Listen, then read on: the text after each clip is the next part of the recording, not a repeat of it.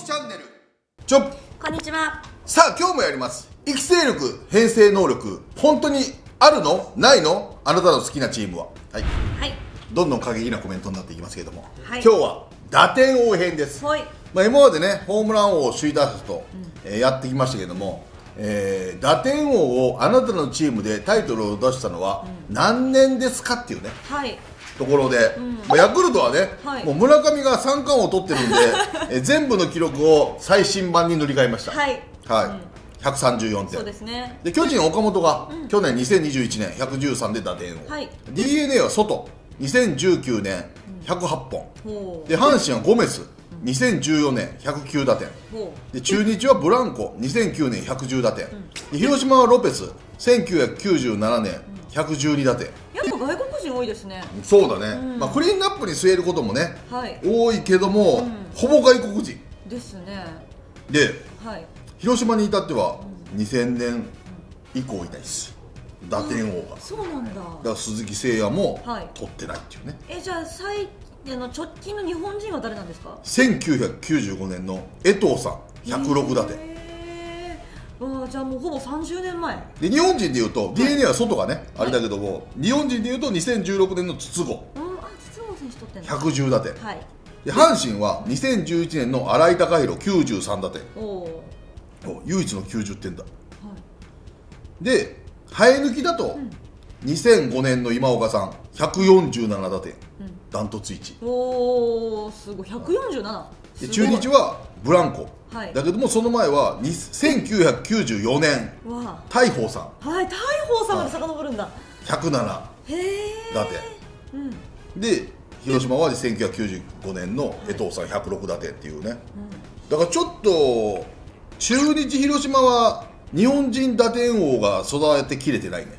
でももうあれなんじゃないですか？村上岡本村上岡本的なところが続いてるんでかね。セ・リーグは2020振り返ると村上岡本岡本外バレンティンはい。ロペス筒香畠山ゴメス、ブランコ阿部新井貴弘ラミレスブランコラミレスラミレスウッズ、今岡さん金本さんラミレス松井秀喜さんペタジーニ松井秀喜さんローズ。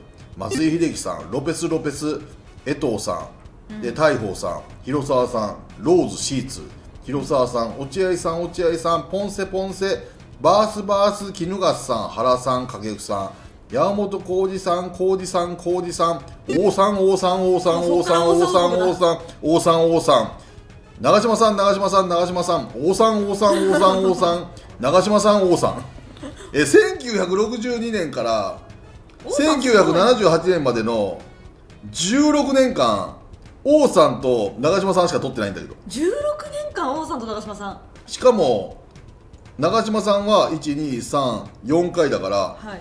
16年間で12回王さん。うわーお。打点王すごい。でも、まあ、そんな連発して打点を取ってる人っていないね、うんいないですね、まあ、松井秀喜さんがちょっとねあの、取って取らないで取って取らないでっていう外国人にねはい。ローズペタジーニっていうところはあるけども、うんうんだからまあちょっとホームラン王とこう被るところはあるようなまあもちろんそうだありねますよね、うん。だからカープは2005年ね新井ちゃんがホームランを取ったけどもはい、中日。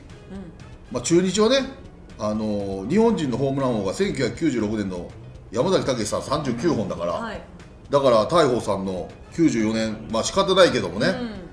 だからやっぱ中日と広島はやっぱそこが日本人の打点を育てたいね、そうですね。ちょっとあのー2000年以降いないってきついよね。しかも打点王に限ってはロペスで1997年だから、それ以降だから2000年以降外国人選手も含めていないからね。そうですね。うん。で全体のホームラン首位打者打点王でいうとやっぱり中日が弱いねホームラン王ってなってくると、日本人選手の名前がやっぱ出にくいですね。そうそう、やっぱゲレーロ・ブランコってまだ外国人はだからうまいんだよね、うん。ってことで補強がうまいのか。そうそう取ってきてるのはね、でも日本人がねちょっといないねっていうね。確かに最近中日ってこう日本人のスター的選手ってなかなかいいないですうもんね、んそうだね。まあでも、うん。スター的だったらだって、まあ、生え抜きじゃないけど和田さんとか森野とかうん。洗い場とかはい。っていうところがいるけどもちょっとだいぶ前ですよ。でその時にあのタイロン・ウッズとかブランコがタイトル取ってるかああそっか。らそうそうそうそうそう。うん。だからどっちかっていうと日本人が出てアメリ,、ねうん。アメリカ人が返すみたいなね、はい。感じになってるそから。っかそっかでもここ育てていくと強くなるね、そうですね。だそういっただから中日でいうと、打点王。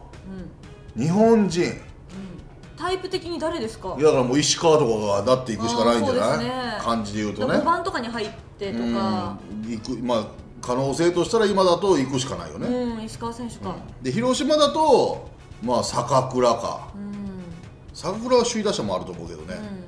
坂倉か西川とかか、ああそうですね、うんまあ、打順の兼ね合いにもね、うんうん。よるけども、まあ、そこら辺だね。はい、日本人でいうとね、だからそこら辺が出てこないと。でもそこ西川坂倉って言っても打点王って感じせえへんもんな。うん、うん、そうですね。秋山小園ぐらいが一番入ってで西川坂倉でクリーンナップ組めたら可能性はあるけどもそしたらもう全員左だからね、1234あおだからまあそこがねまあだからまあ現実的に秋山菊池小園坂倉西川みたいな。でもちょっと小粒やな、まあ、外国人はマクブルームとか入るだろうけども。うん。西川選手はなんとなくタイプ的には。えでも打点そんなとこ入ってこないからね。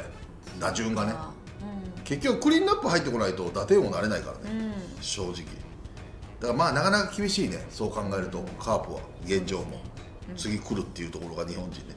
でもそこをきっちり育てきれないときついね。だから鈴木誠也が取ってないっていうところがね、はい、まあ、びっくりなところでもあるけどもね。そううん。だからそこを取っていきたいね、はい。セ・リーグではね、でパ・リーグ、はい。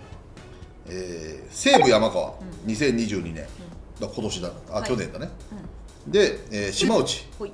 えー2021年96、で日本ハム中田翔。2020年108、でソフトバンクデスパイネ。2017年103、でロッテ初初芝さん。1995年80少ないおおまあね少なくても1位は1位だからね、うん。でソフトバンクは日本人でいうと松永さんが2005年121、ロッテよ。ロッテそうですね。ホームラン王も100 1986年の落合さん以来いないしはい。打点王も1995年以来の橋場さん以来いないし、うん。これはもう大問題だね。編成と育成っていうところでは、うん。だからまあ歴代選手でいうとあ去年から振り返ると、はい山川島内中田翔中村拓也浅村デスパイネ中田翔中村拓也中田翔浅村、えー、井出穂、えー中村拓也小谷野中村拓也、えータフィーローズ、えー山崎武さん、えー小笠原さんカブレラ松永さん松永さん松永さん、えータフィーローズ中村のりさん中村のりさんタフィーローズウィルソン国保さんニール。ニール。でイチローさん、八葉さん、田中幸雄さんが80個で3人同時タイトルで石井郎さん、えーブライアント、ブーマートレーバー、デストラーデ石峰さん、デストラーデブーマー門田さん、ブーマー落合さん、落合さん、ブーマー水谷さん、落合さんロッテが全くいない。そうですね、ん。本当だロッテ全くいないですね。そう、あのーまた落合さん以来いなかったかもしれないところで八葉さん取れたからね、はい。えーあれだけども、うん。ちょっとねだってこういったところが多分打点王ってやっぱり試合に直結してくるから、うんそういったところではやっぱ取っていかないとね、やっはいぱ A クラスとか上位に行けないからね、ロッテはだいぶ頑張んないと、得点能力が薄いね、あそういうことか。だホームラン王もそうだし、そう日本人でね、うん。うん。そっか、まあ、楽天もね石内選手がやっと生え抜き初タイトルっていう感じですそうだね。打撃で、うんうんうん。だからまあここら辺はちょっと頑張んないとね、だから2012年、イデフォ91点とかね、まあ、これ飛ばないボールの時だけど、2006年、小笠原さん100、2006年、カブレラ100だから、すごいね、今岡さんみたいに147とか、すごくない時もいっぱいあるわけよ、うん。それでも取れてないからね、はい。ちょっとまあ。全体的に打撃陣はロッテ大問題だね、まあ、でもやっぱ山口選手とかにじゃあ期待するしかないんじゃないですか。うん、でも打点ってなると、ルイも出なきゃいけないからね、他の選手がね。はいそうそう前の選手がルイも出なきゃいけないから、自分一人の力じゃないからね、そうですね。こチーム力だからね、うん。前の人にもよりますよね、うん。前に出てくれないと、うん。そう考えたらだって他の打点王って西武あの、まあ、外国人入れたらどの球団も超近年だからね。そうですね、結構ばらけてますね。そう17で18が浅村だから、ん。西武でね。はい。だから17からソフトバンク西武西武日本ハム楽天西武って来てるからね、ロッテが確かに。ロッテだけがいないね、うん。あオリックスいないじゃん。あオリックス今これオリックス、うん、オリックスは2012年イデホ。そう。でその前だから日本人でいうと西武が95年のイチローさん。だから初島さんと一緒。オリックスも打点王いないね。えー、意外。いない。オリックス、まあ、ニールが96年にね111取ってるけども、オリックスもいない打点王えなんか打点上げる人いっぱいいそうな気がするのにな。吉田選手もそっか。だから去年杉本が取れててないところがねそっか。痛かったねホームランを取ったけどもね、はい。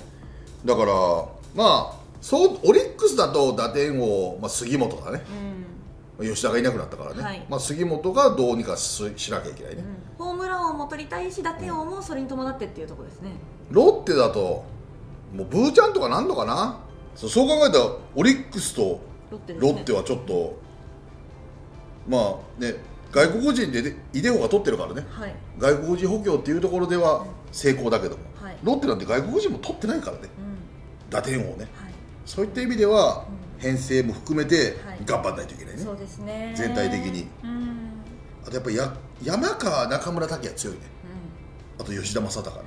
だからそういうのを連れてこなきゃいけないんでやっぱり球界を代表するね、選手がやっぱりロッテにはちょっと薄かったなっていうね、はいまあ、まあドいラフトはたいた俺が言うのもなんだけど、ね ドラフトから育てるとか。うん、そうだね、していかなきゃいけないね、ね。ちょっとそういうところに穴があるね。うんうん。でセ・リーグでいうとやっぱり中中日だね。うん。はい。全体的に言うとね。中日がちょっと頑張らないとね、はい。日本人選手がちょっとこう薄いうん、行かないといけないかなっていうね、えーところがあるね。はい。はい、ということで、えー打撃部門から見る育成能力のあるなし編成のあるなしでいうと頑張んなきゃいけなかったでしょうは、えーパ・リーグはロッテ、はい。えーセ・リーグは中日です、はい。はい、頑張っていきましょう